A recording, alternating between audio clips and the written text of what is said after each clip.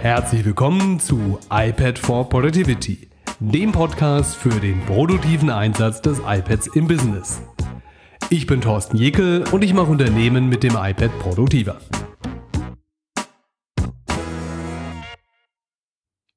Schön, dass Sie wieder mit dabei sind bei einer weiteren Episode. Heute einmal zum Thema USB-C, der neue Anschluss auf den neuen iPad Pros. Und zwar wurden ja die neuen iPad Pros vorgestellt und hier wurde der Anschluss geändert. Und äh, einer fiel weg, nämlich der Audio-Klinken-Anschluss. Leider muss ich wirklich sagen, ich finde das sehr bedauerlich. Ähm, und umso wichtiger ist es, dass man sich mal damit beschäftigt, wie kann ich denn jetzt äh, mit den bestehenden Adaptern arbeiten, wie kann ich denn mit den neuen Adaptern arbeiten, denn es gibt jetzt USB-C. USB-C hat den großen Vorteil für Sie, dass es ein Standardanschluss ist. Das heißt, in der Theorie ist das so, dass eigentlich jeder Adapter, der mit USB-C ähm, ausgestattet ist, mit dem iPad funktionieren sollte. Ich sage das bewusst, weil ich habe natürlich für Sie schon mal viele getestet. Einige funktionieren, einige funktionieren nicht.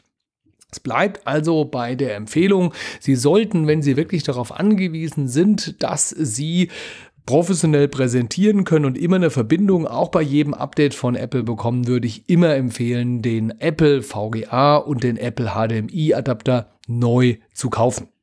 Ich habe das bei den älteren Adaptern durchaus erlebt, dass wenn dann größere Updates kamen, dass es äh, dann auf einmal so war, dass Drittadapter nicht mehr funktioniert haben, weil Apple hier ein Lizenzierungs-Zertifizierungsprogramm damals für das Thema Lightning hatte.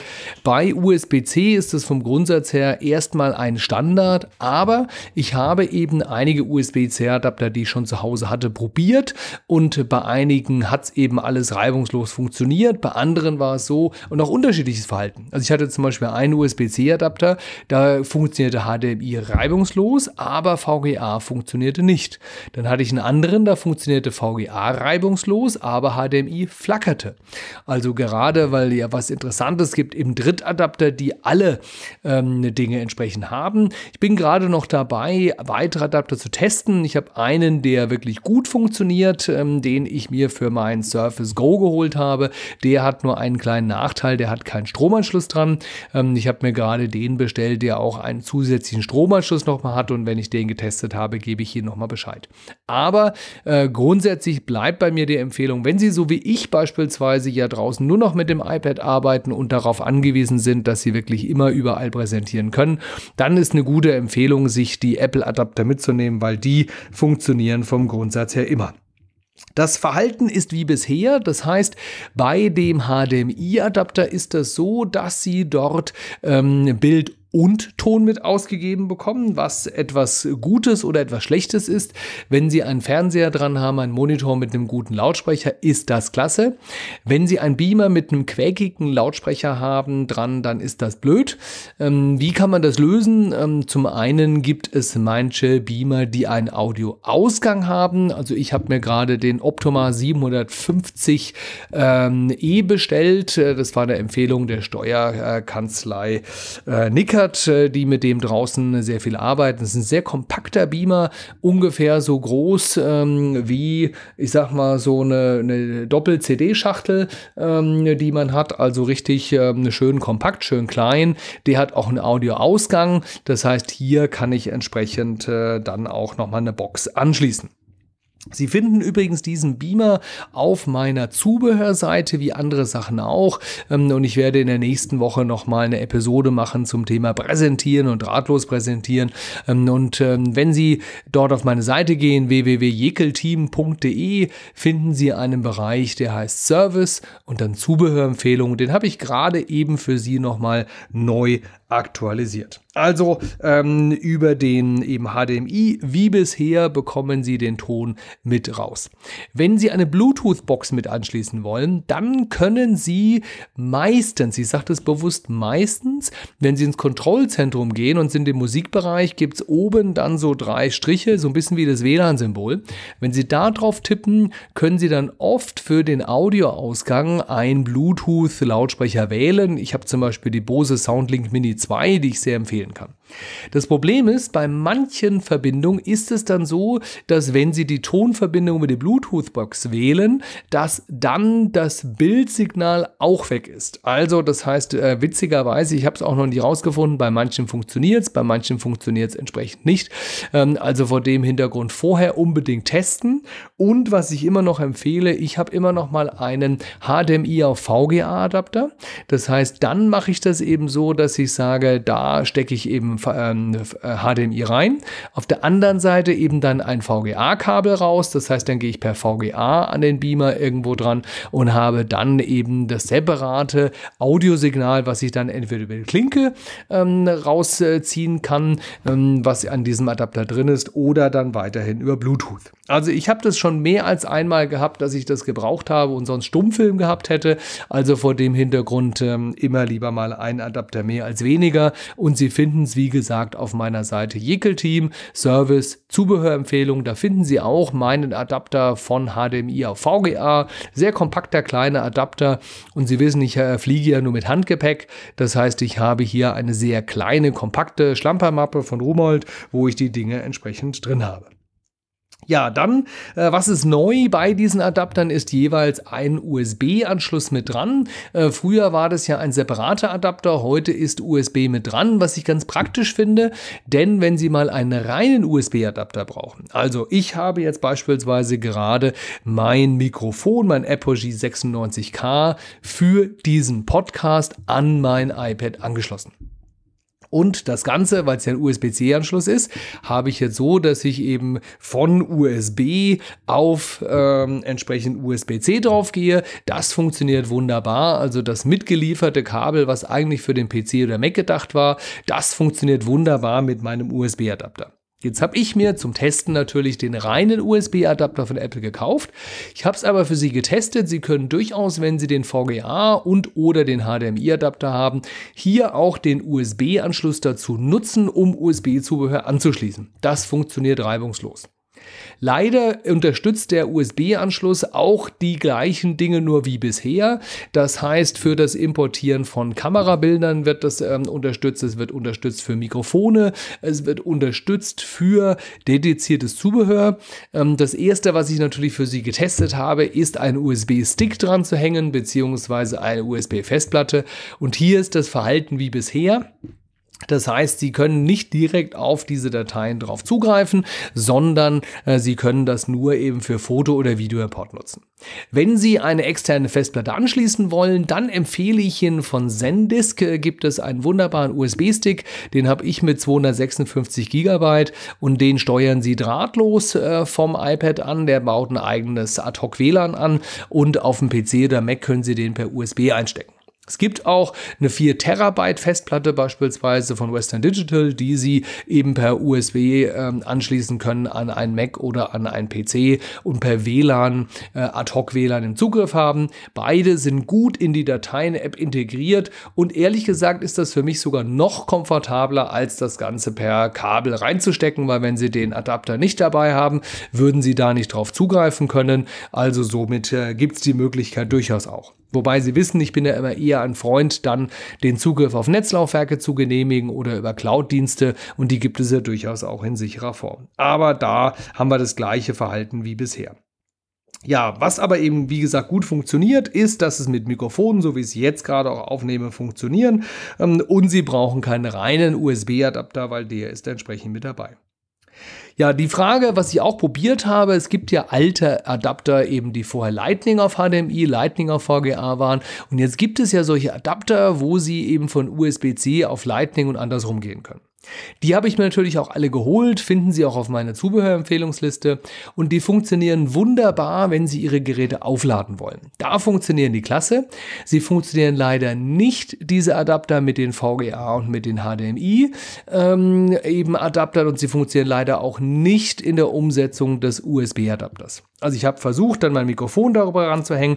Das funktioniert leider nicht und auch mit dem Beamer oder mit dem Monitor, dass Sie sagen, ich habe nur so einen kleinen USB-C auf Lightning Adapter und nutze die alten Adapter weiter. Gute Idee, passt hardwaremäßig, wird aber so nicht unterstützt. Also ich sage immer, you can skip the testing part, wenn Sie meinen Podcast hören und wenn Sie auf die Zubehörseite gehen, weil ich da Ihnen immer die wesentlichen Dinge dann entsprechend aktualisiert draufpacke.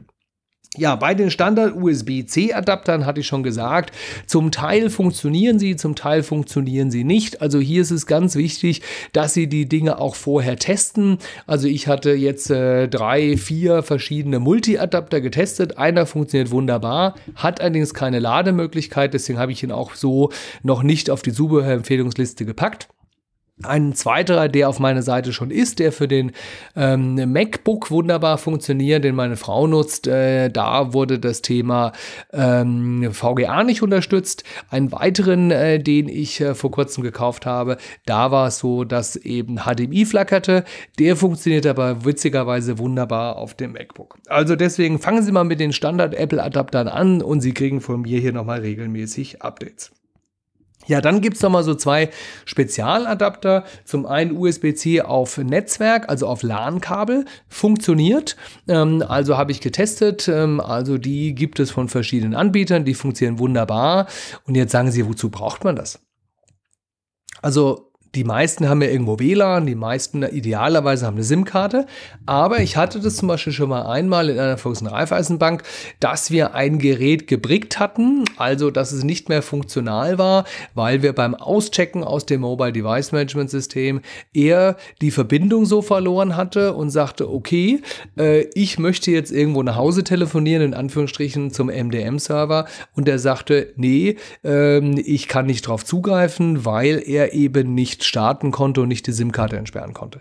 Ähm, so, das heißt, da sind wir hängen geblieben. Und was ich dann gemacht habe, ich habe dieses iPad einfach über den LAN-Adapter dran gehängt und zack hatte eine Verbindung zum Internet und somit konnten wir dieses Gerät auch wieder retten. Also vielleicht für Sie, gerade diejenigen, die aus der IT zuhören. Ich würde mir immer sowohl fürs alte ähm, iPad, da gab es es auch schon, ähm, von Drittherstellern eben ein Lightning auf LAN-Adapter holen und eben auch fürs neue, ähm, weil wenn Sie mal wirklich die Situation haben, dass sie aus welchem Grund auch immer nicht über WLAN draufkommen, äh, nicht über die SIM-Karte draufkommen und das Gerät ist wirklich so, dass sie gar nicht mehr irgendwie draufkommen, weil es gesperrt ist, dann ist das oft die letzte Rettung. Und wenn sie in Hotels beispielsweise sind oder in Firmen, wo sie eine LAN-Verbindung haben, das geht meistens schneller als die WLAN-Verbindung und ist auch abhörsicherer. Also vor dem Hintergrund habe ich immer einen LAN-Adapter auch mit dabei. Einen weiteren Adapter, den ich getestet habe, äh, wo ich sehr enthusiastisch war, und zwar USB-C auf DisplayPort. Weshalb? Ähm, weil ich habe ein Apple Cinema Display 24 Zoll mit einem DisplayPort. So, und jetzt dachte ich mir, juhu, jetzt kann ich dieses iPad da dran schließen. Die schlechte Nachricht, es geht leider nicht direkt, das wird so nicht unterstützt. Es geht aber indirekt und zwar, es gibt Adapter von HDMI auf DisplayPort ähm, und die funktionieren auch so wie bisher, konnte ich auch mein iPad praktisch über den HDMI und DisplayPort Adapter an mein DisplayPort äh, Apple Cinema Display anschließen anschließen. Das funktioniert auch weiterhin. Ähm, also vor dem Hintergrund ähm, ist das eine Lösung, die leider nicht direkt, aber über einen weiteren Adapter äh, wunderbar funktioniert. Stichwort Bildschirme, ich werde auch mal wieder angefragt und gefragt, ja, mit diesem USB-C und ähm, dem neuen, dass man hier jetzt äh, externe Bildschirme anschließen kann, ist das denn so, dass das jetzt größer dargestellt wird? Leider nein, ist, Verhalten ist wie bisher. Das heißt, wie bisher ist so, es wird einfach hochskaliert. Ähm, das Ganze, ähm, also nicht hochskaliert, sondern wird einfach nur vergrößert. Ähm, Sie haben keine höhere Auflösung auf einem externen Monitor und Sie können auch leider nicht spiegeln, äh, beziehungsweise Sie können nur spiegeln und Sie können nicht den Desktop erweitern, so wie Sie das eben in der Windows-Welt kennen, dass Sie dann wirklich zwei Bildschirme haben. Aber manchmal ist es doch ganz praktisch, wenn ich sage, ich habe ein bisschen größeren Monitor. Da haben Sie aber das gleiche Verhalten wie bisher. Kleiner Hinweis, wenn Sie vielleicht mit dem äh, PDF-Expert im Präsentationsmodus präsentieren, testen Sie das bitte mal. Und zwar, ich habe auf meinem iPad Pro 12,9 Zoll, ähm, dem neuen Modell, im Moment das Verhalten, dass wenn ich in den Präsentationsmodus tippe und ich habe das Ding eben über einen Kabeladapter angeschlossen, dass es dann ähm, sehr stark vergrößert wird, dieses Chart, und nicht vernünftig dargestellt wird. Also deswegen, wenn Sie meinem Tipp ähm, ja folgen, dass Sie sagen, mit PDF Expert im Präsentationsmodus präsentieren, das auf alle Fälle das nächste Mal nochmal testen bevor Sie es live nutzen. Sie wissen, ich bin sowieso so ein Testfreak, dass ich sage, wenn Sie irgendwelche Charts haben, irgendwelche Präsentationen, Sie sollten es vorher immer nochmal ähm, durchtesten. Und gerade da ist es mir vor kurzem aufgefallen, als ich dann diesen Präsentationsmodus anschaltete, dass der nicht sauber unterstützt wurde. Mit PowerPoint, mit Keynote, mit WPS Office habe ich bisher ähm, alles sauber in der Darstellung, also da gibt es keinerlei Probleme. Ähm, also vor dem Hintergrund gibt es ja wie immer nochmal gute Alternativen. Ja, wie gesagt, ähm, wenn Sie dort nach den Adaptern schauen, die Apple-Adapter habe ich noch nicht drauf, die kommen aber noch drauf und sonst haben Sie eben alle Kabel, alle Adapter und in der nächsten Woche werde ich nochmal etwas expliziter auf das Thema drahtlos präsentieren gehen. Wenn Sie es noch nicht gemacht haben, dann melden Sie sich unter www.ipad4productivity.com mit der 4 geschrieben, so wie der Podcast zum Gratis-Hörerservice dieses Podcasts an. Dann bekommen Sie jede Woche immer eine Information über die wesentlichen Inhalte ähm, der neuen Episode und weitere Tipps und Tricks zur produktiven Nutzung des iPads. Ich freue mich auf Sie. Bis nächste Woche. Ihr Thorsten Jecke. Das war eine weitere Episode von iPad for Productivity, dem Podcast für den produktiven Einsatz des iPads im Business. Ich bin Thorsten Jekel und ich mache Unternehmen mit dem iPad produktiver.